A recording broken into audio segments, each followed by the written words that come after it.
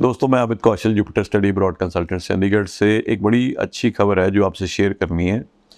Canada दोबारा line पे आ गया। लाइन पे आ गया इन द सेंस कि जितना भी प्रोसेसिंग का बैकलॉग था कनाडा स्टूडेंट वीज़ा का, वो ओवर हो चुका है। तो अब जो कनाडा के डिसीजंस हैं within fifteen working days में डिसीजंस आ रहे हैं। एक दूसरी खुशखबरी अभी मैंने थोड़े दिन पहले एक वीडियो बनाई थी कि कनाडा में पीटी एक्सेप्टेड है कोई प्रॉब्लम वाली बात नहीं है। तो ये पीपीआर मैंने आज रिसीव की है अंकित शर्मा की इसकी फ़ाइल लगी थी थर्टीथ ऑफ़ जनवरी को और परसों इसके बायोमेट्रिक हुए थे और आज सुबह हमें इसकी पीपीआर आ गई। अंकित शर्मा नायगरा कॉलेज जा रहा है और इसका पीटीई के बेसिस पे वीज़ा आया है।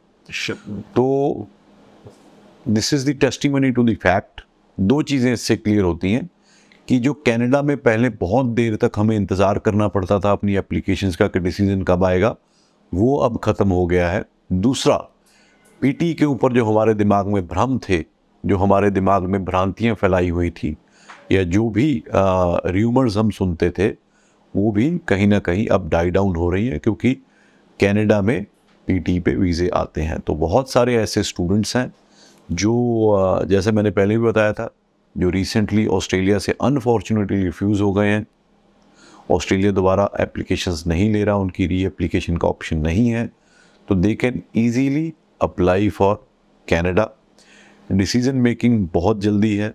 ऑफ़र आप अप्लाई करोगे ऑफ़र के बाद आपने जीआईसी और फ़ीस जमा करानी है एल आ गई और आपकी फ़ाइल लग जाएगी। कोई यहाँ पे फ़ंड शो करने की ज़रूरत नहीं है, कुछ नहीं करने की ज़रूरत है। और तो हाँ अब जैसे बहुत कम कोर्सेज और बहुत कम इंस्टीट्यूशंस हैं जहाँ पे मेन टेक भी अवेलेबल है और उसके बाद सितंबर तो अवेलेबल है ही है। हर एक प्रोविंस में आपको कोर्सेज मिल जाएँगे पीटी के बेसिस पे। तो बिल्कुल भी देर मत करिए, दिए हुए नंबर पे कॉल करके। अगर आपने कनाडा में अप्लाई करना है और आपने पीटीई भी किया हुआ है तो भी आपकी एप्लीकेशन कनाडा में सक्सेसफुल हो सकती है और आप अप्लाई कर सकते हो। Thank you so much